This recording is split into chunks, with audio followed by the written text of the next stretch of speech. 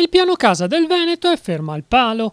Nonostante le continue rassicurazioni sulla validità del piano del vicepresidente della Regione Veneto Marino Zorzato, il ricorso del governo alla Corte Costituzionale contro la legge regionale ha di fatto bloccato ogni richiesta di costruire.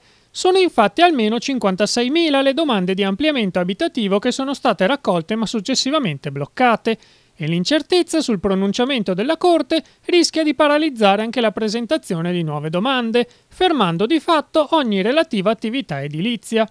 Nel contempo, la Regione Veneto ha deciso di costituirsi in giudizio a difesa del piano di fronte alla Corte e l'assessore all'urbanistica Zorzato, con una circolare esplicativa, proverà a rimuovere i dubbi applicativi della legge riguardo le altezze, i volumi e gli oneri di urbanizzazione.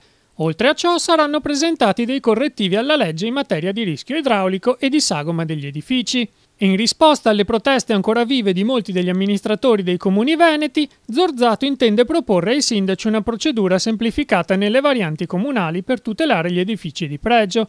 Alla fine, insomma, il piano casa sarà quindi modificato, o con una serie di emendamenti o attraverso un disegno di legge regionale, in attesa che oltre ad essere valido divenga anche esecutivo.